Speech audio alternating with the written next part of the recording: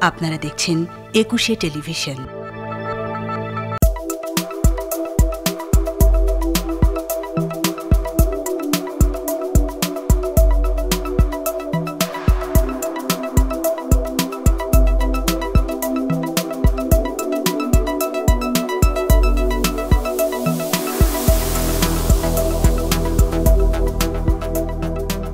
হঠাৎ করে আজ দুদিন ধরে তিস্তা নদীর পানি বাড়ায়। আমাদের বাড়ি ঘরে পানি উঠেছে, আমরা এখন আর পানিতে বসবাস করতেছি।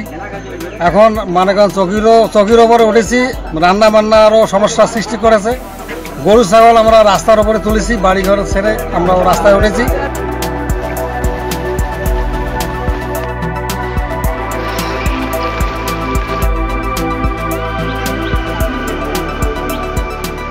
কলে পানি খাই, এই কল ডুবে গেছে পানি খাওয়ার মতো কোনো বুদ্ধি নেই। আমার এই পানি খাইলে পা সমস্যা হয়, বা গলার সমস্যা হয়, হাতের সমস্যা চুলকে চুলকি করে। এই কারণে আপনার অনেক সমস্যা।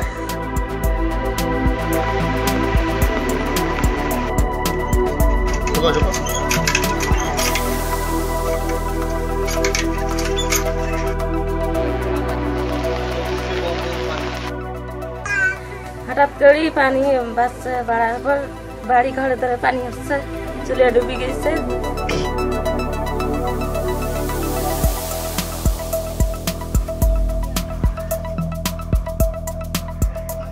গরু ছাগলের অসুবিধা, চড়াই ছাগলের অসুবিধা খাওয়ার অসুবিধা বেড়ার অসুবিধা, খুবই অসুবিধা আমাদের।